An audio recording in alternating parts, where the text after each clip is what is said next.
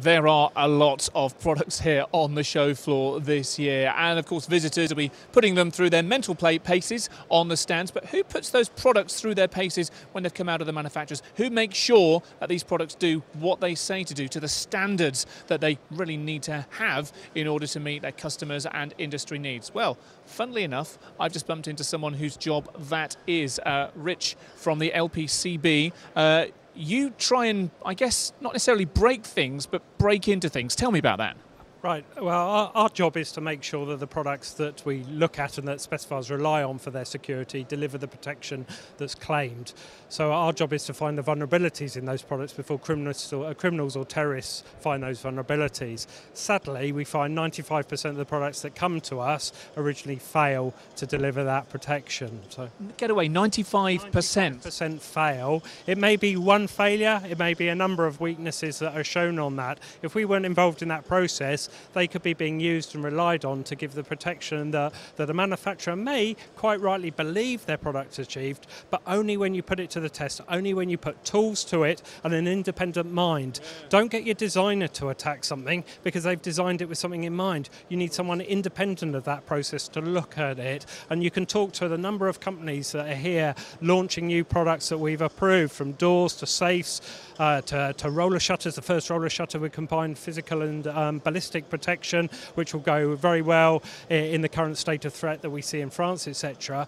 those products have delivered, but they don't necessarily pass first time. Those manufacturers recognise that and they invest. It's, it's not a cheap process, but they want to deliver good product onto the market, products that they can be proud of and that their customers can rely on. Because as we've seen in Paris and other places, unfortunately, uh, lives can be lost if products don't deliver the, the protection that people rely on in terms of feedback, obviously you've got a, a pass fail, and that 95% of products not doing what they're supposed to be doing, uh, you know, in the security, that, that's pretty damning. What sort of things are they failing on? Are you able to feed that back to the industry? Yeah, the, uh, the manufacturers are present during our tests, so there are other places that they may go to um, where they can't be involved in that process. Most of our testing on the physical side is done at the manufacturer's own premises, so the design engineer can be involved, the marketeers can be involved, the MD can be involved, the accountant, if he wants to know how their money's being spent, can be involved, and that enables them um, to engage fully in that design process and making sure at the early stages in design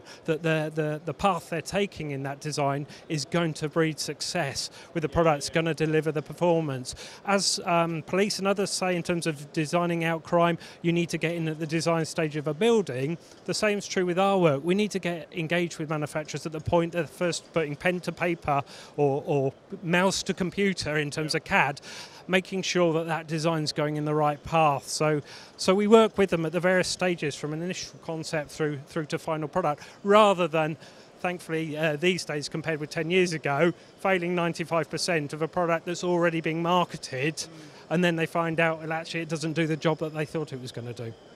Now, in the uh, cyber landscape, ethical hacking is, is a thing. It's a big thing. But uh, is it quite so common in the in the physical security landscape? Um, most of the work we do is manufacturers, but there's certainly a large arena very close to us here where we're evaluated the whole perimeter of that uh, arena that's going to be holding sports competitions in, uh, on an international stage, um, where they needed to make sure that out of hours that environment's safe, that people cannot get into them, that may want to plant a bomb, for example, and not the type that thankfully was a false alarm up in Manchester, but something that, that could really do damage or, or in other environments wanting to get in to do damage um, uh, and uh, that would prevent that um, facility functioning in the way that it's required because there's a lot of, uh, uh, of money in the sports world as there are with data centers water and other things that we operate in they need to know that their facilities their assets are going to deliver uh, for the investment they've put into it and, and that security is, is key to that so.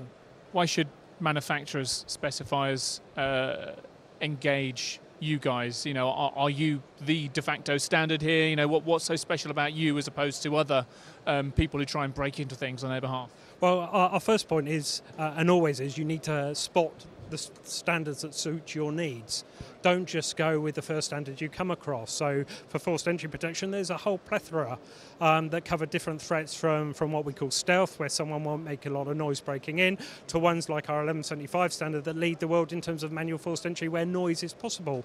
And as a result, that's being specified in the Middle East, as far away as Australia, as specifying that standard. It's got great recognition and has done a lot of work in um, the last 10 years, certainly in, uh, in protecting a lot of key assets in the UK against crime and, and terrorism.